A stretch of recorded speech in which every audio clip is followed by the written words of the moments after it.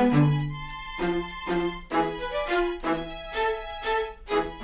right, hello everyone. Yeah, so today in the lesson I'll show you examples of uh, unconventional creative moves. And uh, well, I'll just start by saying that this is something that uh, potentially cost me in winning the US Championship, not being able to spot unusual creative moves. Um, so it's very important to be flexible minded and uh, be able to consider all sorts of moves even those that don't first come to mind, um, because that will broaden your um, board vision, and at some point that could make a very big difference in your chess. So we'll start with some relatively easier puzzles on that on that topic, but um, then we're gonna see some examples from from my my US championship just now, and uh, you'll see exactly what I'm talking about. So let's uh, start with uh, this one. This one is black to play and uh, the question is can black do better than let's say just recapturing on d4. Of course recapturing on d4 is uh, kind of a safe solid move but does black have anything better?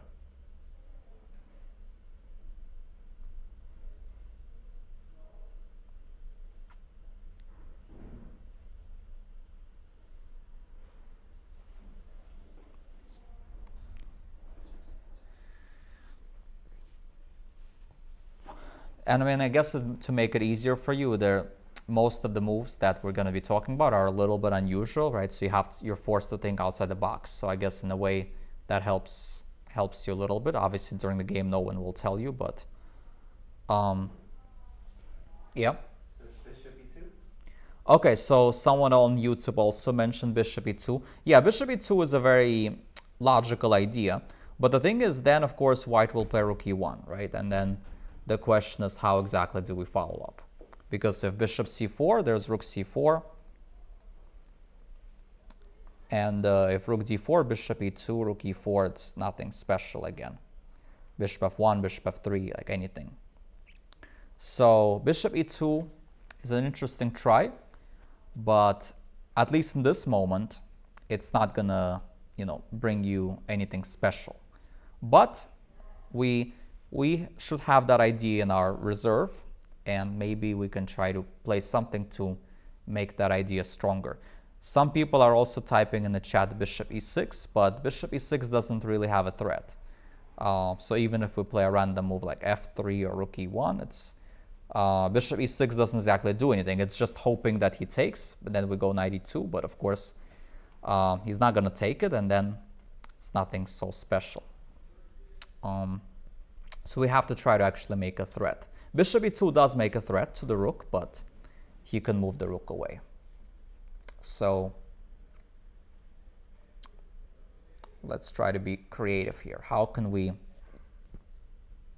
maybe disturb his harmony to make this move more powerful? Similar idea.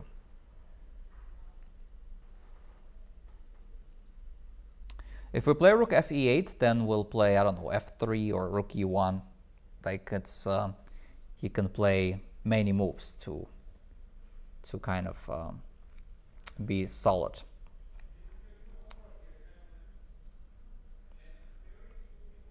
Knight h3. Well, knight h3 I don't think doesn't does anything because after takes, what's the what's the follow up? F5, yeah, unfortunately we can't play f5 because the pawn is pinned. But even if we could, you know, the knight will move away and doesn't do anything. All right, looks like Maurice Smashley got the right idea, but make sure you give the follow-up to your move. Don't just give the move, give me the follow-up. That's very important here.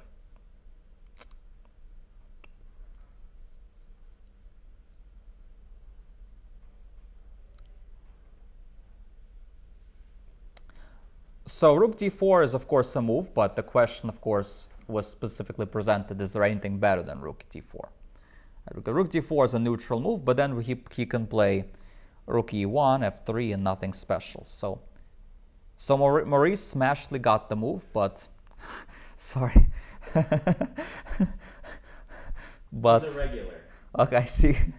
but uh, we need to make sure we find the follow-up to that move. Like if if if he plays the most natural move, what does black do?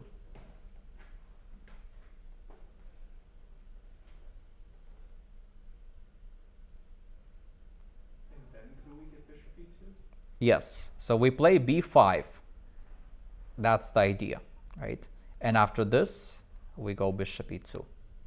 Yeah. So um, this is the this is the idea. So this pawn move is very good, right? Disturbs his harmony, and then after the bishop takes, we go bishop e2. And now the difference, the bishop's not protected, and he will lose material no matter what. So very nice, creative, out-of-the-box thinking move, right? Which is why we have to be open-minded and considering all of our checks, captures, threats. So when we see a move like bishop e2 and you see why it doesn't work, we have to consider, okay, maybe we can try to play that on move two in some in some lines, and we have to be flexibly minded here. So I like this puzzle a lot, like out-of-the-box thinking. Um, all right, so let's look at uh, the next one. Um, all right, black to play. What should black do? In this position, black has one winning move. If, you don't play the winning move, you're losing. So this is uh, this is one of these where you really have to. Yes. Yep.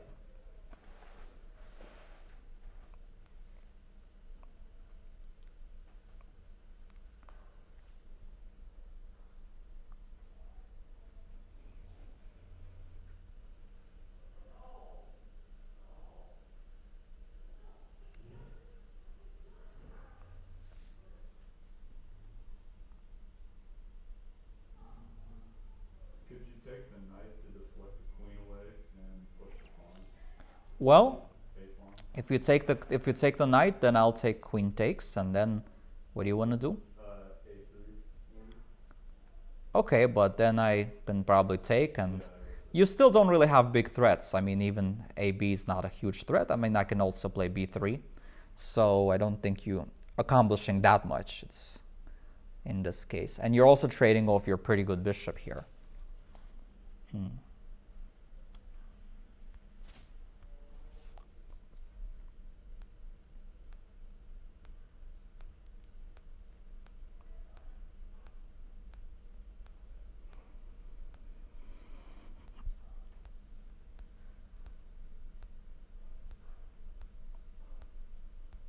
All right, looks like one person on YouTube got it. So let's see if um, anyone. Okay, two people got it. Okay, on YouTube, people are starting to get it. Uh,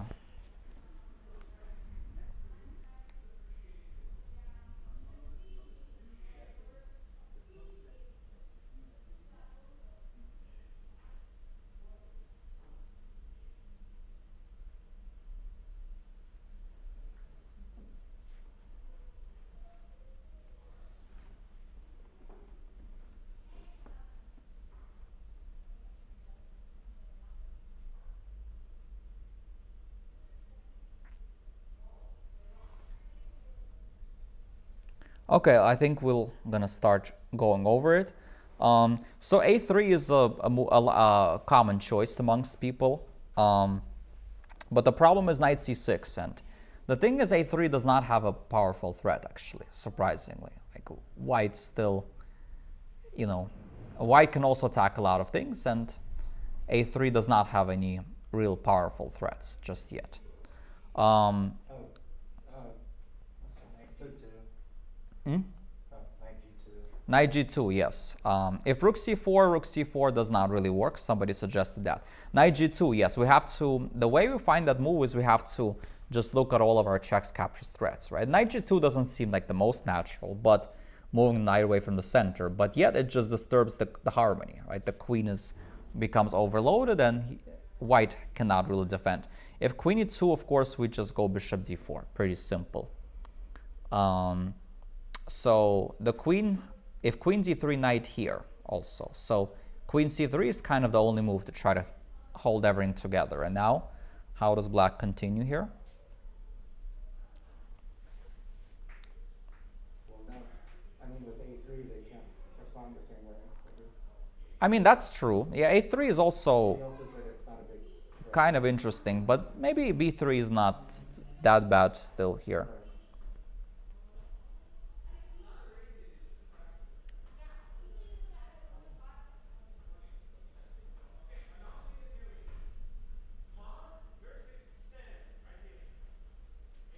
Maybe ninety-one. 91, very good.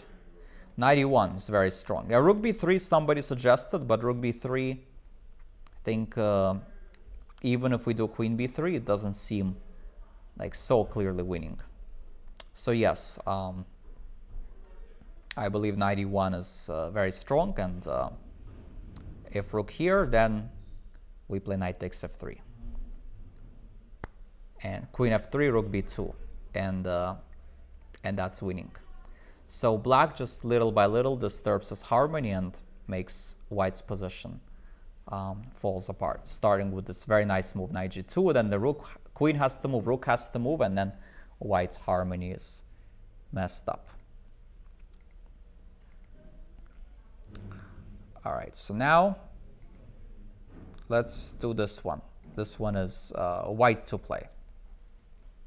White to play and win. Try to give the whole variation.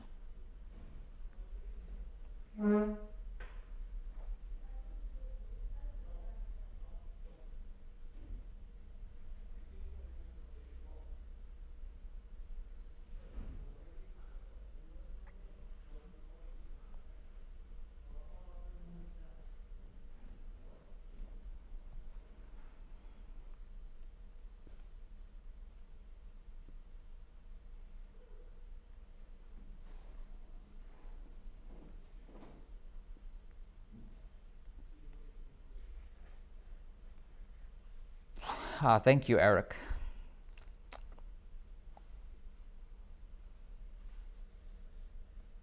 I think I've got it, but I don't wanna ruin it. It's okay. Give it a shot. Uh, okay, um, bishop, uh, d6, Bishop d6. Um, trying to, but bishop d6, actually, I don't have to take, right? What if I go bishop e6? well, I was thinking maybe like rook takes, uh.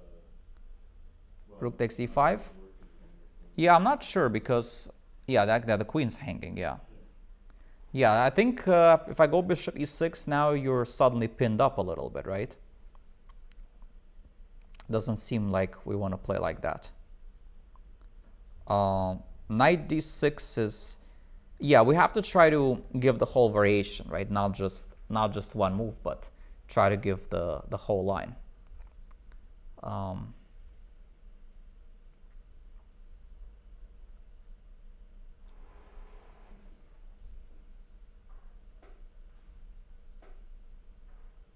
Okay, so of course the correct move is uh, knight d6.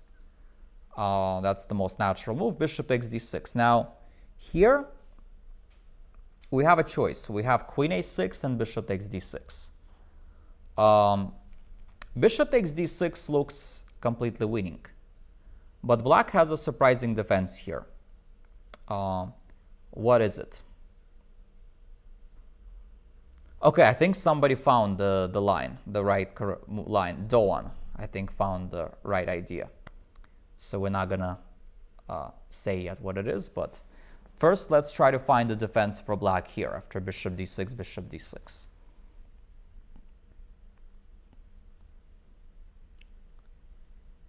Because yeah, here it looks like it's winning. Queen a6 is a threat and, and uh, looks like it's uh, almost no way. But black has a fantastic defense here after which he's not worse. King b7 does not work because if king b7 check here, queen f5, we get overloaded. So we can't go king b7, unfortunately. So, but yeah, the move for black here is very nice, the defensive move. Also, speaking of unnatural moves, it's not the most natural move, but it's uh, Um, okay. E, s- e- E E King Master Puppets. You're right. That's one of these two. But which one? There's a big difference. I was going to say one of the uh, rook df8.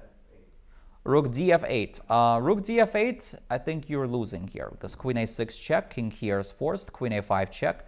Now if king c7, queen, C, king c8, queen c7 is mate, you have to go king e8 and then rook e5. So unfortunately that does not save us.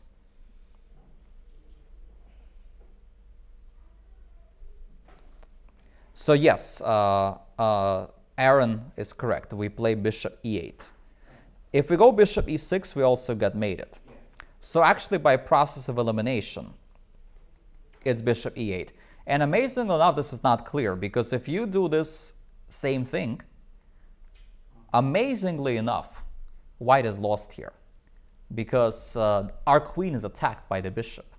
Our bishop on a4 is offside, and black has threats. Black threatens the queen, black threatens rook d6, and black threatens queen f1. And in some cases, black threatens the rook.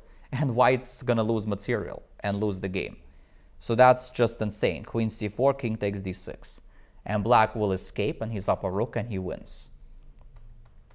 Now, I think white does not have to go queen a6. I mean, I think this line somehow ends in a draw. I don't remember how, but this is why bishop takes d6 is not the most accurate. It looks winning, but amazingly, there's this bishop e8 defense, right? So we have to really look at opponent's set ideas. So the correct line is queen a6 check. Of course, king b8 loses routinely. Two bishop takes d6, king a8, bishop takes c6.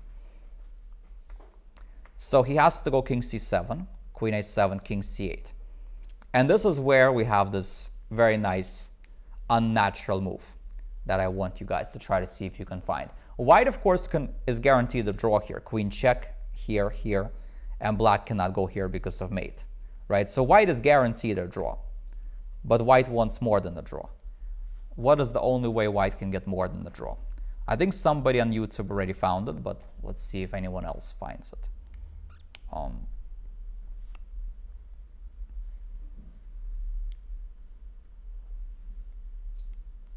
It's this again, it involves disturbing opponent's harmony to make the threat and at the same time we disturb opponent's harmony. It's a very nice idea.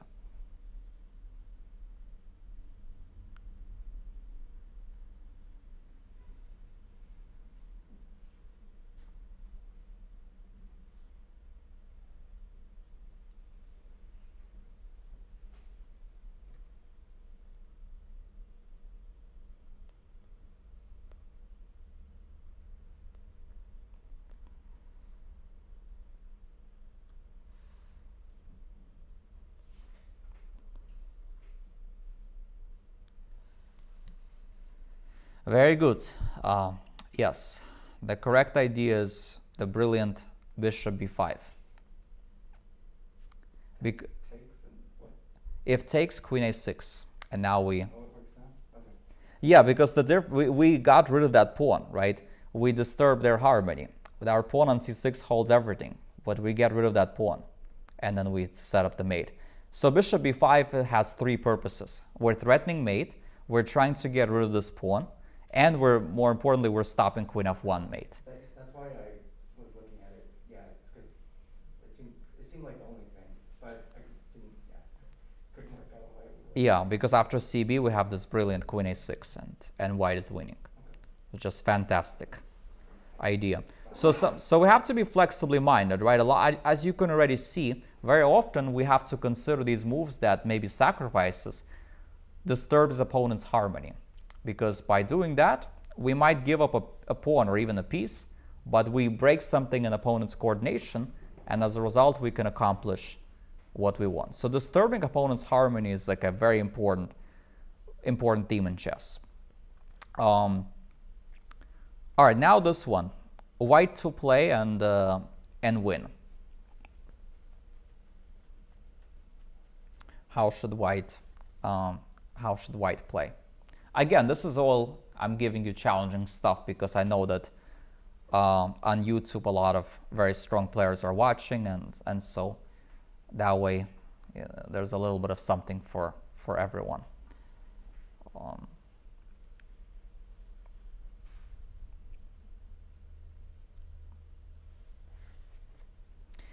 So two more puzzles and then I'm gonna show you my unfortunate moments in the US Championship, which basically cost me the, the title. But let's do these ones first and then we'll get there.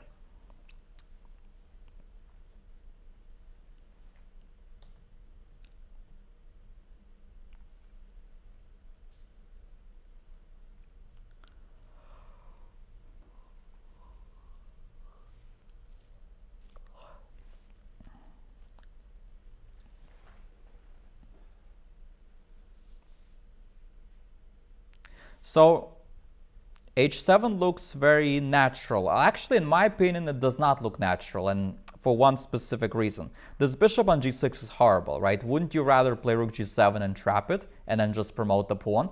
The problem with playing h7 is that after takes, takes, uh, I think we're only trying to lose here, right? Because after the pawn goes to a3, king b4, b5, our king is, this king is stuck with these pawns, right?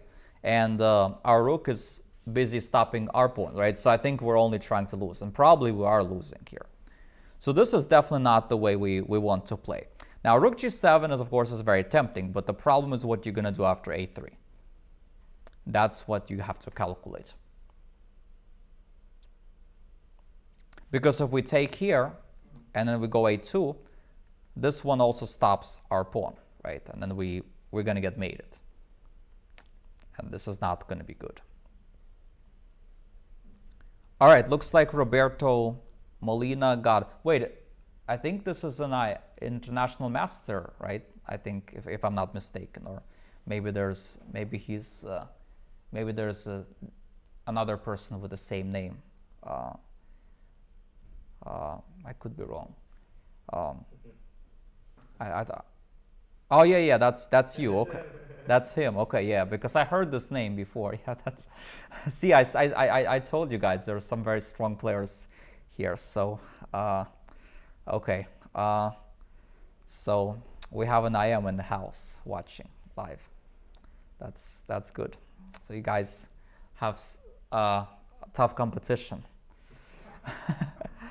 okay, so yeah, so here's the here's the point of this problem, right? So Rook g7 is a move you really want to play, but after a3, um, we cannot take that. And if we go back rook a7, this is still not quite winning, because after rook a6, bishop h7, rook here, we go king c3. And uh, this is going to be a draw. Like, we're not going to be able to win this. All we can do is we keep, keep checking, checking, checking, but it's going to be a draw. So the idea here is we actually play rook a7 putting black in Zugzwang. And why is it Zugzwang, you may ask? Well, let's see, the bishop can't move. The, these black pawns can't move. If the king goes anywhere like c6 or something, we lose the a4 pawn. So the only move that does not lose material is king b4. But now, what we can do is a brilliant move, rook back to g7. So we, it seems unnatural. Why are we forcing the king to go to b4, where it wants to go anyway? But the difference is now we go here, and after this, we've disturbed their harmony. Because after this, look, we go rook check. We have this check now because the king is on b4. And after here, we go back and then we stop this pawn by with the check and we win the game. So sometimes we can literally lose a whole tempo like that in an endgame just to disturb their harmony and just to improve our coordination. So fantastic. Okay, so let's um, Okay, this, this one will be kind of challenging. So, but since we have an IM here, that's actually good. This, hopefully this is going to be a good one. I think, I, th I think this will be actually a well, we'll see unless he knows this one. So white to play, white to play and win. I mean, this is a very hard one, but if, uh, but I, I just think it kind of shows a very nice, there's a nice, very nice point to it. I think it's, aesthetically be beautiful, which is why I kind of wanna uh, wanted to show this one. This is actually from Dvoretsky, Mark Dvoretsky. Um,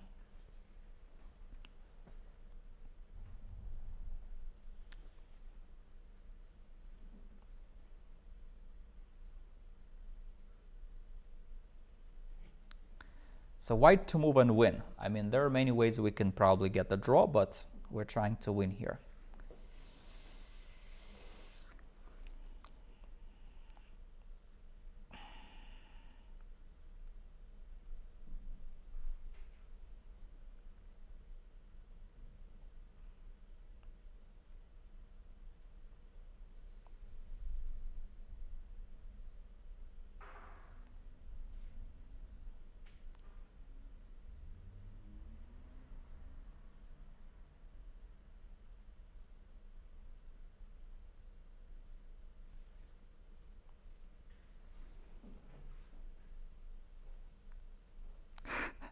You know what's funny? I think one person had had the answer correct, and he's and then he says, uh, and, and then I think he kind of corrected himself, and uh, actually he had the right move the first time. It's kind of interesting. I, I don't want to say yet who it is, but uh, it's. Um, all right, it looks like one person got Andre Fidalgo. Um, maybe he's also a, a, a masked uh, IM or GM. Uh, so, yeah, so the thing is, okay, there are many ways we can try. If we go rook g1, we can go, ah, nm, I see. We can, yeah, then there's queen d4 or queen c3 and, and stuff like that. And it's not so clear. Please don't spam in the chat. Um, and um, if we play rook e6, king here, rook h5, king g8, the queen also starts um, escaping, right? So another move that we can try is rook f2, but still after queen d4, queen c3, black gets a lot of counterplay. So the brilliant point here is that we have this move rook 1 e5. Um, insane move. Um, we give up the rook, but after de we go rook f2 and uh, we go check and we win the queen. And because black's beautiful friends, his pawns, the queen's friends, are are stopping uh, the queen's escape route, black will lose the queen for the rook. And the point is white has this pawn majority on the queen side and he will play a5, b6 and win the game. And that was another very important thing to pay attention to, to realize that if you actually can exchange two rooks for the queen, you're winning. So this was uh, this was not. This is actually a puzzle. This is not a. I don't think this is from a real game. This is a. This is just a puzzle. All right. Now from real games. You might think these things are only relevant from puzzles, but you'll see five examples of mine where I missed very nice opportunities, and you'll see how why it's important to be creative. So first of all, good memory well, mixed memories. So this is from the US Open that I won right, you know, in August, right before US Championship. I got eight and a half out of nine, but I came this close to getting breaking history and getting nine out of nine. Um, and this was uh, my game, last round game against Benjamin Gledura, a grandmaster who lives in St. Louis right now, originally from Hungary. And um, and then I kind of outplayed him at some point. I got a very good endgame. And, uh, and here in this position, he offered me a draw. And a draw clinched me clear first. Uh, so, you know, I thought for about seven minutes. I didn't find a clear way to win. Like I was looking at several ways. I knew I'm probably at least slightly better, but I didn't quite realize um, that I'm completely winning here. Um, and uh, the winning idea here is actually very unusual, very creative, and somehow it never even crossed my mind. And my opponent immediately told me after the game that uh, about it and how it was it was winning. And uh, yeah, it's a big pity that I didn't I was not open minded and also I kind of feel upset that I didn't pay attention to this weakness of mine after the the US Open because I could have worked on that before US Championship and maybe my result in the US Championship would have been different. But you know, I guess you live, you learn, and uh, um, everything happens for a reason. So anyway, without further ado, try to find the best idea here for black, uh, black's, black's plan. And yes, I am reading the chat, so you guys could suggest your, your ideas. And so please say nice things here. Um,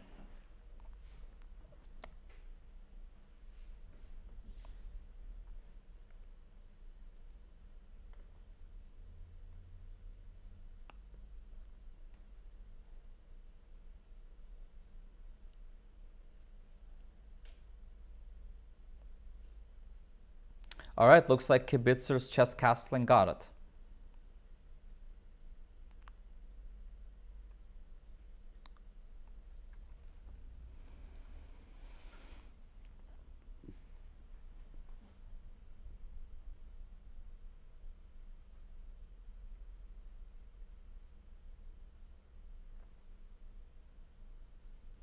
So, so far we have one guy who got a correct idea, um, we have one idea. One person said d4, one person says c4, and then we have also bishop takes f4. So all of these are pretty natural moves. I, I considered all these moves that were... Okay, one other person got the right answer, Mr. Balhots.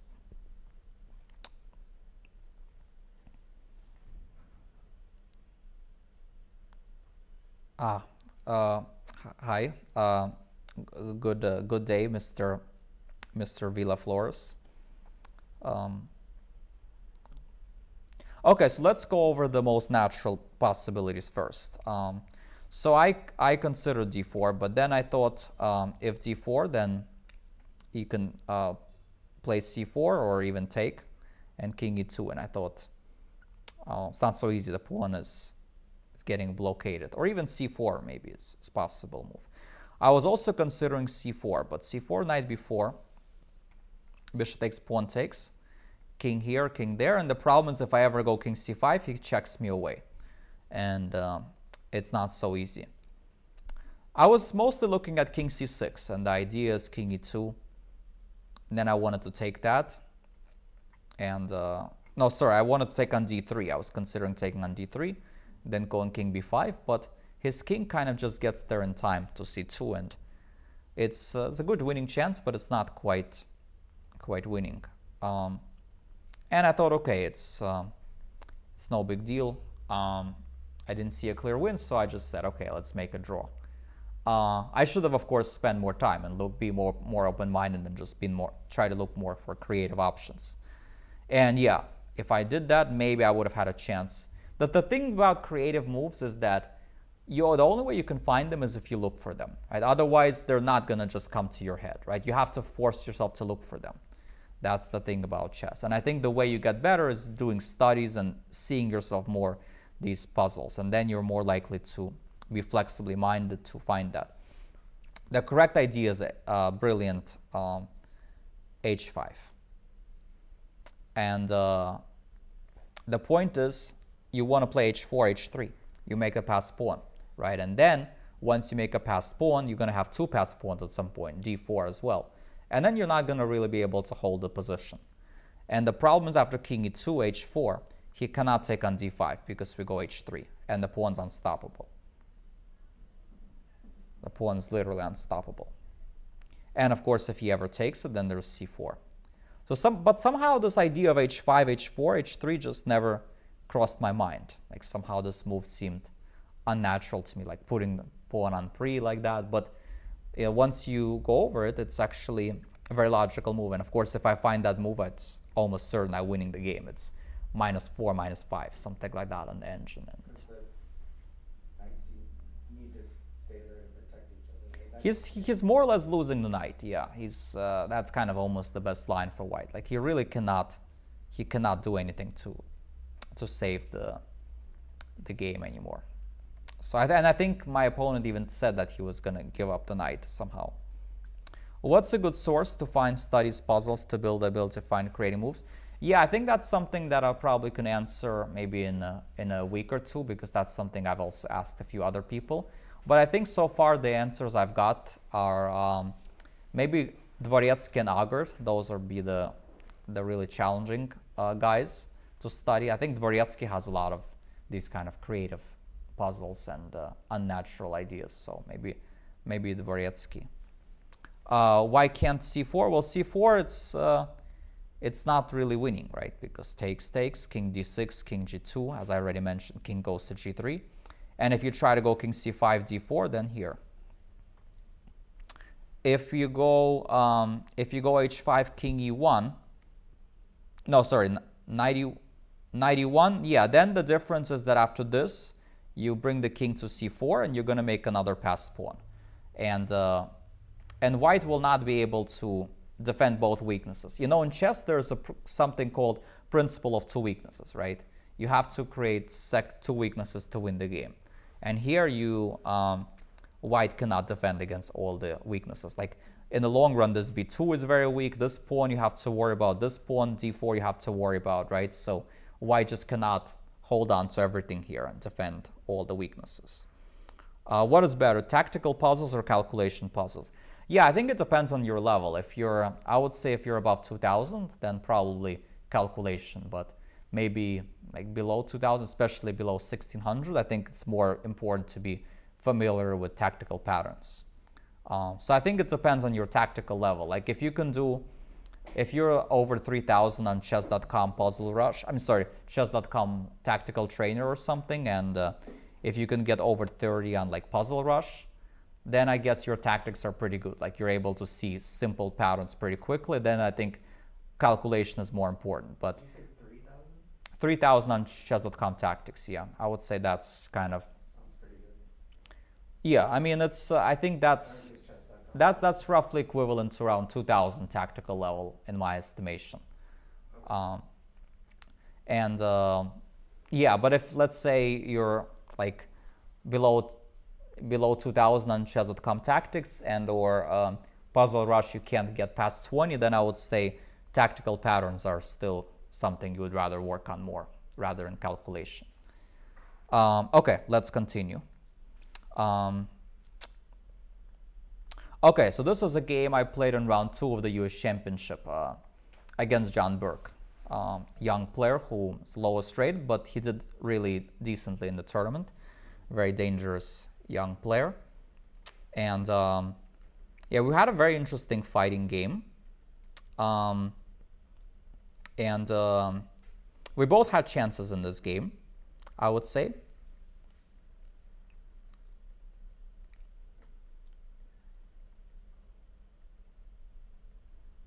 Now there was um, now there was a very very interesting moment right here.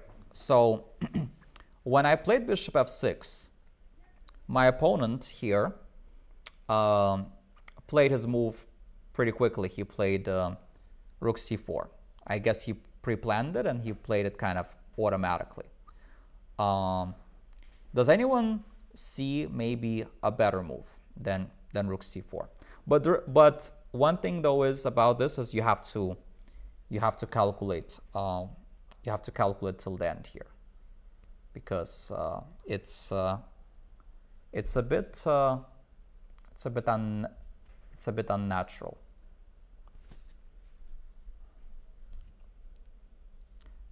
Sorry, I yeah yeah there that's it.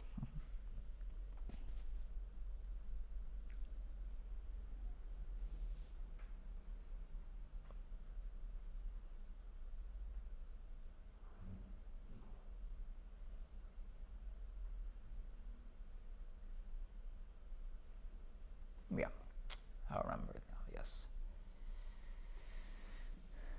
Very unconventional tactic that we we both missed. Yes, Salom. Yes, I I remember. Yeah. Queen c4 here. Um. Queen c4 here. I think it's it's interesting. The thing is, I can probably take on f3 here. Uh, maybe I don't have to take on c3. It's, it's interesting. You almost got it. I would say the better option is to uh, to take on e4. And originally I was thinking I can take on c3. In retrospect, the best move is probably something like queen g7, which I also saw I can do, but I thought I can actually get away with bishop c3. And John kind of told so told me that yeah, yeah, he didn't think I had anything. But the thing is though, in this position, white has an insanely strong move, which is what move? Which more or less wins the game. Like it's uh, it's quite incredible. Very very nice un unconventional move. It stops like black's one of black's key ideas.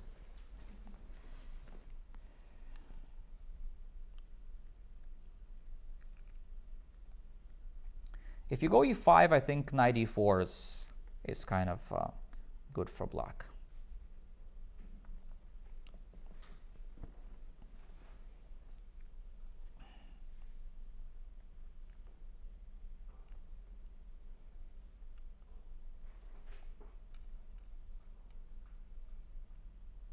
Queen d2 does not work because of knight takes e4. And then we attack the queen and the bishop here. We need to make sure the knight on c5 is not going to be able to... Yeah, but then, then we lose our bishop. So yes, we need, need, we need to set up queen uh, c4, but in a way that our bishop will not be attacked next move. So ef rook f5 is what we both calculated, and, and I think it doesn't really do much. So this move in here is very nice. Bishop a1, still knight e4. If the knight can get to e4, it's not that easy, because then we have rook a5, rook a1 ideas. Queen c4, that's it, yes. Because now the knight is pinned and we're threatening queen d4. And white is winning. It's a very nice... There might still be more to it, but um, but the engine says white's winning. So this is, yeah, this is a very neat idea that we both missed. A very nice unconventional idea. So again, we have to be open-minded considering material sacrifice, like not all automatically assume a, some recapture. But then after he missed this, there was, it was my turn to miss something later in the game. What So- was the difference again? Sorry, with, with playing queen c4 before taking, sorry, with the, Oh, you mean like here? Oh, because queen c4 pins the knight, right? No. So. Oh, you mean queen c4 e e instead of? Uh, well, he does not have to take the rook. okay. Yeah, that's the big thing. Yeah, he does not have to take the rook. Of course, if he takes the rook, then yes, then this is very good for white. Okay. But he doesn't have to take the rook here. So fe, you're trying to get him to take the rook. Oh, that's the point. Because if you don't take the rook, it's there are some other problems I think here. Like now you can go rook c4, and then the e4 pawn is weak. I mean, it's a little complicated, but it's you know you can get the idea. Okay, you can always check this game on, on your own if you want. It's in the database. My game against Burke, more carefully with the engine. But, and now it was my turn to miss something. So here, uh, I'll, I'll put the question to you in a different way. What do you guys think about bishop c5? Is that a good move or a bad move? Why or why not for white?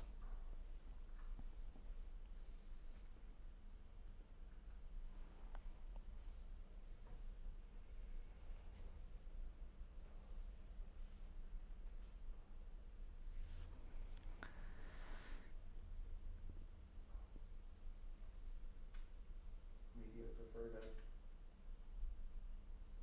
play bishop c3 to challenge the diagonal?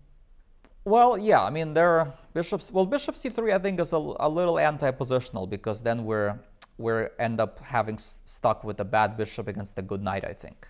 So that I think, and then our a5 pawn is very weak. So I think this would be positionally just very good.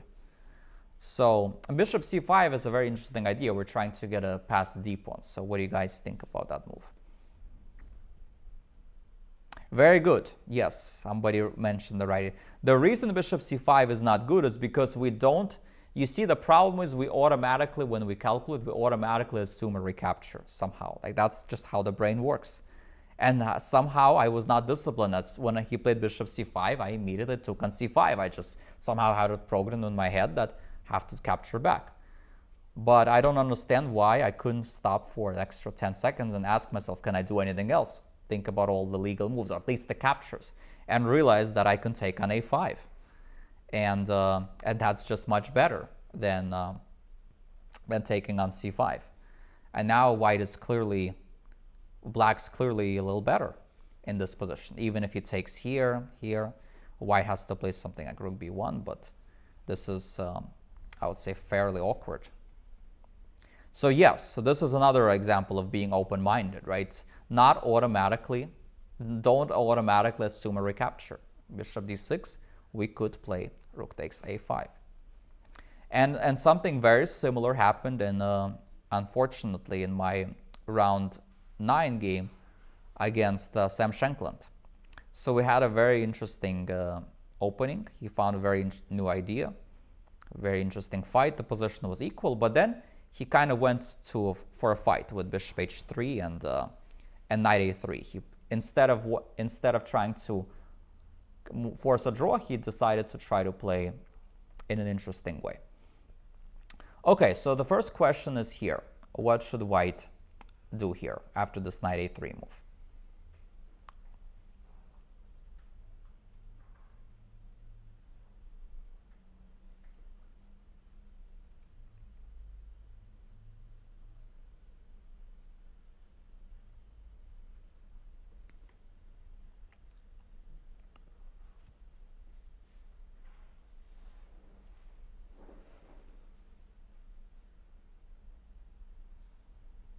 Ah, okay, I see. Okay, so some people have, have seen the analysis. Okay, then, then, then, then of course, I saw the two of you going over it in the club. ah.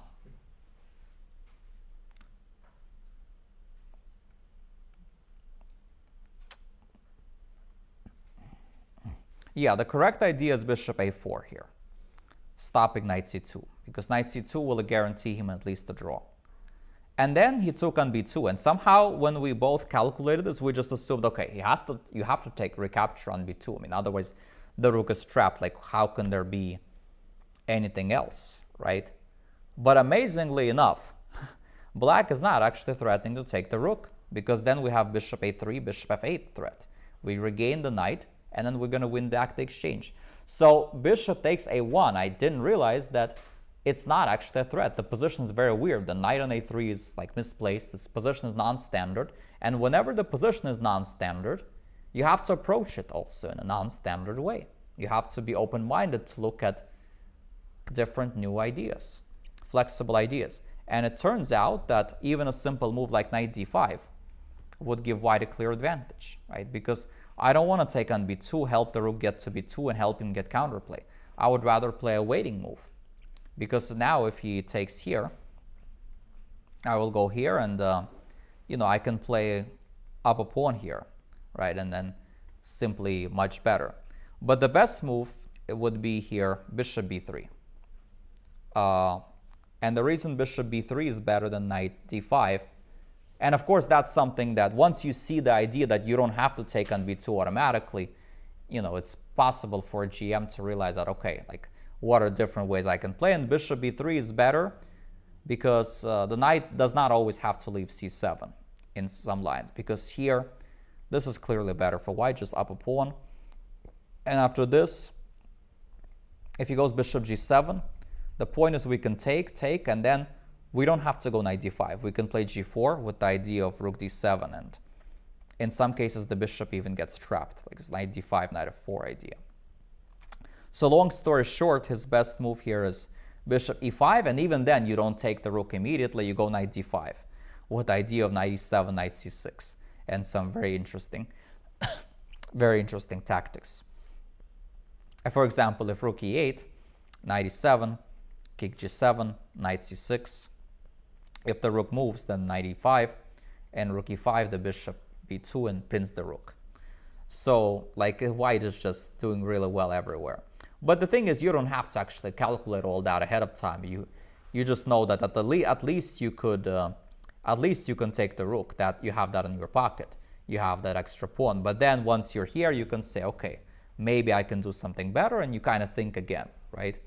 So the the lesson is whenever whenever the position is unclear and like weird in many ways, like unusual, you have to look for unusual ideas. Like you, it's very important not to be very disciplined and not just automatically just go ahead and recapture, like just because the move is obvious, looks obvious, looks like the only move.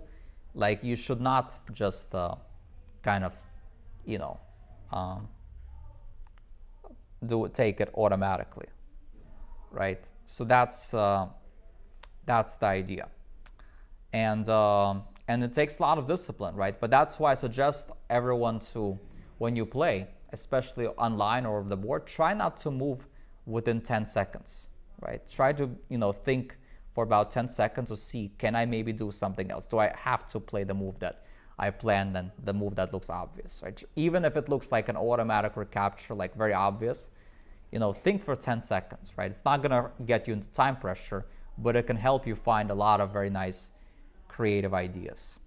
Um, uh, maybe Richard Rapport, I don't know. I think Jeffery Xiong is also very creative because I never guess any of his moves when I play him. so, uh, well, no, in in a blitz in a blitz game it's different, right? In a blitz game it's reaction, right? Okay, and I'm not talking about blitz game. Blitz game rapid 10-2 or something rapid when you're in time pressure, it's different, right? So if you have only like a 2 second delay or increment, that's different. Like then of course you this does not apply to that, right? That's why for people who play fast, probably too much blitz might not be good, right? Because blitz can develop these habits. But what I'm saying is when you're playing a classical game over the board or something, when you have time to think and you have like an increment or a delay that's at least like five ten seconds and you have a lot of time especially early in the game there's no reason to play automatically right you have to be flexibly open-minded right and i think you know if i would have won at least one of these two games right it's already a different tournament like i was half a point away from first place right so like I'm not saying I would have won these games, but like I had a good chance to win at least one of these two games if I just didn't play automatically. And what upset me the most is that I already made a mistake like that against John Burke, and then yet I had to make a mistake like this again. It's it's quite incredible because I've never had this problem necessarily before in my career. At least it didn't really show up. And then in this one most important tournament, there you there it happened. Um, what book do you suggest to go over 2000? Um, yeah, I mean, look, that that's uh, I don't really like answering questions about books because that's um, because that's something that um, really just depends on what your, your level is and your own strengths and weaknesses are. I think it's really very individual things, but um, yeah, that's why for me it's very difficult to answer questions about about books. Um, uh, I guess I'll show you one more, a couple of more that I planned for today.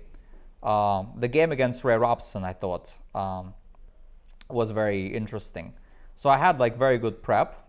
Like I happened to study this line, which was kind of lucky.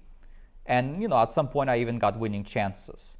But unfortunately, I couldn't find the way to create the best winning chances. And um, and so here we have black to play. And the question is, uh, what should black uh, do here?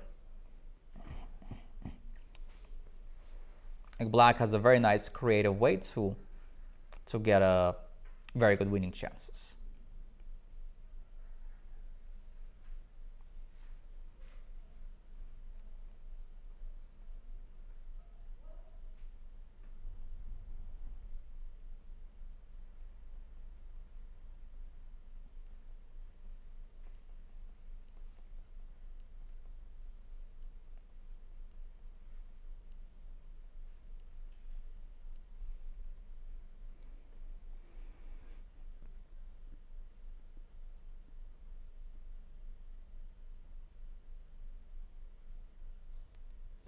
Yeah, h5 is interesting, but h5, um, okay, it threatens bishop g4, sure, but if I go, if I go king e4, let's say, which is something I kind of want to do anyway, bring the king to e5, then I think that doesn't accomplish its goals. Bishop e3, uh, I don't think it works because king e3, if you want to take, I take. Rook c3, rook d3. So it does not work. Yeah? Oh, okay. Um, again, it's a nice creative move. And think about, in particular, loose pieces. Like this, in this case, I could have, and this one, actually, I didn't rush. Like, I didn't play instantly. I thought like 15 minutes here because I was desperately trying to find something. Uh, but I couldn't find. Uh, yeah, so the knights on b3 and the knight here are loose pieces, right? So there's an idea that kind of takes advantage of these loose pieces. So just bishop takes d5 and then rook. If we do this, then knight c5 is annoying, and then rook e5, and then he's threatening mate, and he's getting all sorts of counterplay here. This I didn't didn't like, yeah. And I think somebody suggested rook c4. Rook c4, I think the problem was that what was the issue with rook c4? I'm trying to remember. Or maybe it was takes, takes, rook, D, rook d6 or something. And um, bishop g4, king g3, and I didn't really think it's that, that amazing. Bishop d4, yes. Yeah, cutting off communication. Now, somehow I just didn't see this move at all. Like I thought for 15 minutes, I just didn't see it right? It's and again, this is a move that if I find it's a, I mean, he was in time pressure and it could have made him like very nervous, right? Objectively, he should draw this. Like it's like here, e4. Then I give this check. I think it's like king f2. then I take. then he finds he has to find rook e1, otherwise he's really suffering. And then we get to some rook endgame like this, which the engine says it's a draw, but like first of all he would have had to find all these moves in time pressure, and then even still he needs to hold this endgame. So I would say yes. Like I, if I was able to be more creative, I had a very good chance to win one, if not two, of these three games, right? And and that's and now, like now we're talking already about like a plus three score, right? That's even not counting like my first round win, my first round draw that I didn't win a winning position, right? So that's um, so it just goes to show, right? It's uh, it's important to extract lessons. So what I encourage you to do always is, and of course the most painful moment, right? Like the one against the the one against Fabi. I'm not gonna really show you the whole game, right? It's it's just too complex, and we're kind of running out of time. But I'll show you the the moment when like I, I guess I could have hoped to win. Um, it was um, like at some point, yeah, he found some very good moves, queen b2 and knight e5. And at some point I got very excited because I thought here, here I, I was, I thought I could win with rook e8 and rook b8 and queen a7 and I started having flashbacks of uh, Var Akobian against Fabi in 2017 when Var's winning move was also Queen A7 uh, in 2017 after when he made a monumental comeback in that game. But the problem is there's knight d7. So then I, and then I saw knight e5. Like I thought maybe this could be winning. I thought, wow, maybe this could be my lucky day.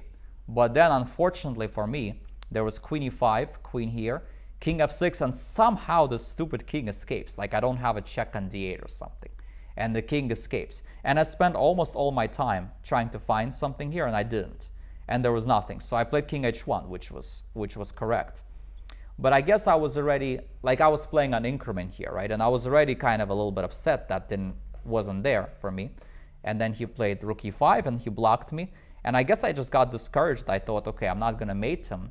I couldn't find anything and I just played a passive move. Like I played something rook c8 and I and then I kind of lost the thread and I ended up losing the game.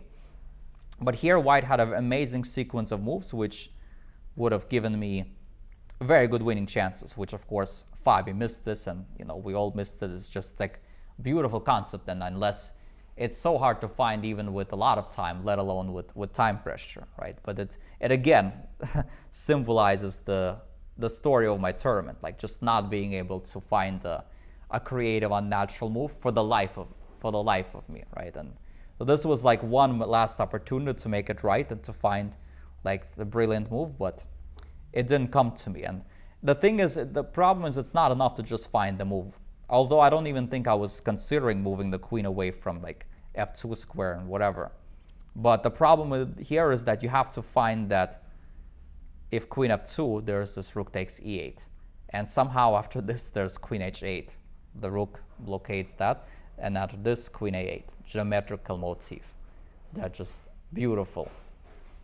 And so that means he has to exchange the queens and play something like knight d3. And, and then, of course, only I'm playing for a win here. Like, I can't really lose here. And, uh, like, realistically, I can only win this. And good chances I win this and yeah, so that was that was obviously a, an opportunity. Although to find it in time pressure, you know, it's was unlikely, but but yet it was it was a chance.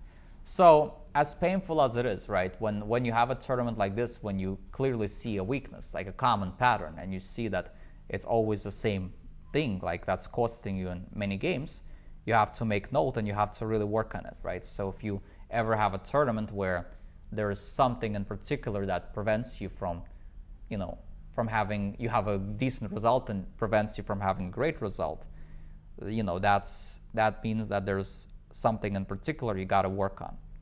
Um, and that just means that you got to work more on at home to train more regularly at home because ultimately, the, as they say, um, you you win the tournaments usually before the tournaments. No matter how hard you try during the tournaments, if you're not maximally prepared, then somehow the game of chess, a lot of moves will not open to you at when you really need it. So that's why you got to really work, earn it. And uh, there's a reason Wesley So wins so much. it might seem like he's not very ambitious during the tournament, but he preserves his energy and but he he works really hard um, at at home. I remember as as a recap, I'll tell you a story about Wesley So, which I think will be quite symbolic of why he wins tournaments that frequently. Um, in 2016, after he finished his tough U.S. Championship, where he finished second behind Fabi, uh, he tied with Nakamura for second place. Um, I talked to him and his uh, his mom, and uh, basically he says that the very next, basically the very next day after he finished a tough, grueling tournament, he was already waking up, up at 6 a.m. and working on tactics, like the literally the very next day. And while other people are like drinking and partying and relaxing and uh, just trying to get rid of the energy, the very next day he's already thinking about the next tournament and worrying about how to do, how to uh, play um, better and uh, you know perfecting his chess, right? And this is something that Susan Polgar always talks talked about and continues to talk about in in our when I was at Webster in our chess training that if you really want to be great, like not just good but best of the best, you really have to um, put in your heart and soul, not just during the tournament but before, because everybody tries hard during the tournament.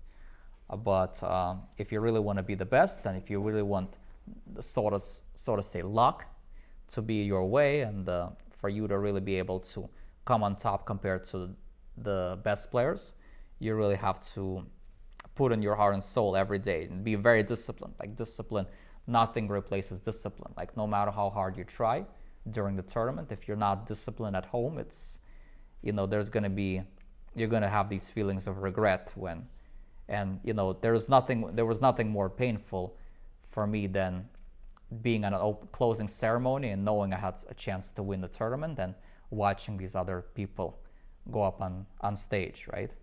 Um, and uh, you know, it's it might be it's so I I feel like it's more less painful to train very hard and kill yourself for the game of chess almost at home, but then then to have that deflating feeling of not being not done not not having done your maximum. Um, there's nothing more unpleasant than having that feeling that you could have you could have won and, and you didn't uh, because of something that you didn't uh, uh, do. Um, so um, so yeah, that's that. And I even made myself a, I just couldn't watch the playoff, right? I just uh, refused to watch it. I saw the games after, but I purposely scheduled a lesson while the playoff was going on so that I don't I don't watch it because feeling would be too too painful. Um, yeah. So anyway, I hope this this is instructive for you guys. And if you have uh, if you're ambitious for chess, please learn from me like how how important it is to be disciplined because you know that disappointment is real, right? And you don't want that to happen to you. Um, okay, I have so, a few questions. I would do. I would, I would say to do that, but be more in touch with your. Yes, of course, you have to trust your gut, right? So if you like, let's you know, and I tell that to a lot of my students. So let's say you've thought for like 10 minutes on a move, right? And uh, you're not sure between two moves. You should try to go with the move that you thought about originally, because that's more likely you got your gut, right? Especially if you're an adult player who's been playing chess for many years, but somehow have a hard time trusting yourself. You have to trust your gut because the gut is correct 90 out of 10, 100 times. But um, what I mean is that when you see a good move, you know, explore all the possible moves, right? You know, it's uh, don't only trust your intuition, especially in the beginning, right? Um, do you believe in natural talent, or do you think um, it's almost all, if not all, hard work?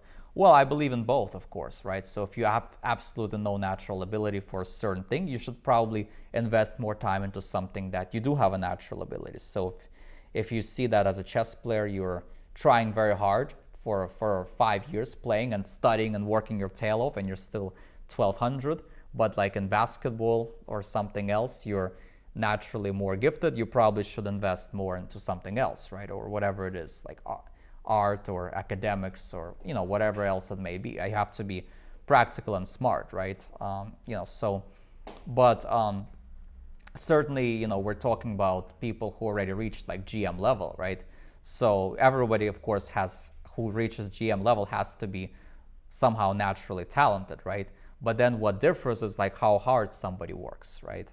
Um, someone like Sam Shankland, you know, before he won the U.S. championships, he was just working his tail off on a regular basis, right? And that's why the game of chess uh, gave back to him, right? It's like working very hard with these Jacob Aagaard books and calculation, like strains his brain, right? That's that's what you've got to do if you really want to. Um, if you really want to be the best of, of, the best, it's not just in chess, in anything, in anything that you want to be. Uh, in anything like you want to be the best at, you have to try to put in that effort. So if you want to be, let's say, an economics professor or a teacher or a doctor or a lawyer or whatever it else may be, you have to try to be the best of the best to try to really, uh, you know, succeed in life, right? Because there's a lot of competition in any field, right?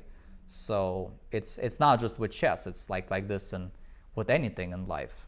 Um, so let's see. Uh, am I coming to London anytime soon? Look, I think uh, I think uh, I decided for myself until the pandemic is is is over, until we reach like an endemic stage where you don't have to deal with lockdowns, quarantines, where COVID is treated just like a normal virus, like a flu or a cold, where you can live a normal life even if you have it. Like you don't have to sit for two weeks somewhere and get stuck or something, and and the borders being closed and all these problems uh, and people dying and hospitals overflowing until that kind of thing stops i'm just not going to travel out of the country you know? So and basically until the pandemic stage of this pandemic is over i'm not traveling out of the country. That's that's i, I declined the world cup i declined the the grand swiss which you know looked like was on the verge of being canceled but looks like it's still a go but like yeah i'm just not I'm not just not taking these chances. There's just too many good tournaments in the U.S. where I don't feel the need to go out of my way and you know get quarantined, get stuck, having to get tested, and God forbid I test positive, and then, then I'm stuck for for weeks, and I you know it's just yeah, it's just too much for me right now. Uh, not worth it. So hopefully at some point, hopefully by the summer of next year, I'll it'll be better and then it'll be okay to travel, but for now it's still it's like um, I mean I'm comfortable certainly going to places in the U.S. and all these things, but um, you know it's but but yeah out out of country it's just too uncertain. Um, yeah, we'll see. Um, is it necessary to work on tactics most of the time in order to get better? Um, Yes, tactics. The way I look at it is tactics is like food for the brain. So, um, you know, without tactics, you can't really uh, grow as a chess player. I believe um, you're gonna always limit yourself if you don't work on tactics. Tactics is something you have to do every day, even if you don't have time for anything else. You have to do tactics every day. Now, you should try to do other things as well, if possible, but tactics is like the number one requirement. Uh, how do you develop in long calculation and also being able to find good candidate moves. I think it's discipline. I think one thing that's important is making candidate moves and not starting to calculate deeply before you make a list of candidate moves, right? Because then you can get sucked in into some interesting lines and, and missing something simple on move one for yourself or your opponent, right? So as Mark Dvoretsky, the late Mark Dvoretsky would say, as long as you can see every, you know, the main things on move one or move two, you're usually going to have pretty good calculation, right? So I think that's general advice. Um, pretty common. Of course, we all sometimes fall in that trap and we start getting analyzing something too deeply. So breadth first search. Yes, um, and um, yeah, but I think it's just a lot of training and maybe if you feel like you can get, if you feel like you got stuck somehow at your tactics or calculation level, maybe um, if you have a coach, that could be something you can talk to them about. Maybe download the problems you get wrong and go over them and see maybe there's a pattern in your thinking that you need to improve. Because I know that Sam Shankland, for example, has pretty much the way he got better from like 2620 level to like 2700 level. He worked with Jacob Aagaard primarily on calculation, right? And Jacob Aagaard basically tailored problems towards him and uh, he basically helped Sam realized how he needed to work on his calculation and and now he became just so good at it, right? And and he became such a much better player. Um, so, okay. Um, is it possible that the Sevian game was too exhausting? No, actually, I was not that exhausted about the game. Uh, After the game was an end game. Actually, I always felt fresh. I physically, I, somehow, I always felt pretty good. Like, I don't think physical stamina actually had to do with uh, um, my mistakes. I think it's just like I wasn't creative. I think that's the problem. I wasn't uh, thinking the right way about moves. I wasn't thinking outside the box. Uh, yes, I'm definitely disappointed not to win. I mean, especially when plus two wins and you score plus one, it's very disappointing. It's, it's when you have a chance, like so many chances to win, like just one more game. Of course, it's very disappointing. What's the shortest time limit for an adult improver to play regularly to actually improve? Well, I think it depends on what their level is. If you're an adult improver and you're 1200, yes, you can improve very quickly to like 2000 level, I think, especially if you have some natural talent and you're training the right way. If you're an adult and you're 2000 trying to become 2200, it's much harder. It's going to take you much longer. So I think it depends on what level you're starting and how much how much exact time you're you're you're training. So again, it's a very general question, hard to say a exact answer. All right, I think it's time for me to. Oh, why is Carlsen so dominant? What makes him different? Is it natural talent or hard work? Well, I think both.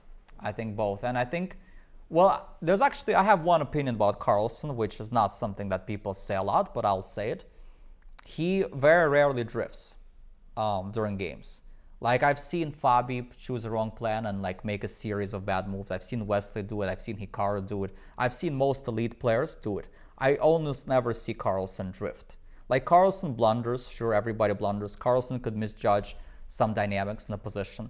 He can misplay an opening. Yeah, he can do these things, but he almost never, you know, just completely loses the thread of the game. Like, well, I do it all the time. Like all these other elite players do it a lot. Well, not a lot, but relatively speaking. Like Carl's going on tilt, mm, maybe not tilt, but just like losing the thread of the position, like just not understanding like how to play a certain position. Magnus, on the other hand, I almost never see him like play a series of just bad moves in a row. Like he can make a blunder, yes, but not like showing lack of understanding of the of the position. Like that's that's the part he's just really really good at. Like he's in that sense, I think he's by far the better player than others. But of course, that's only one factor, right? That's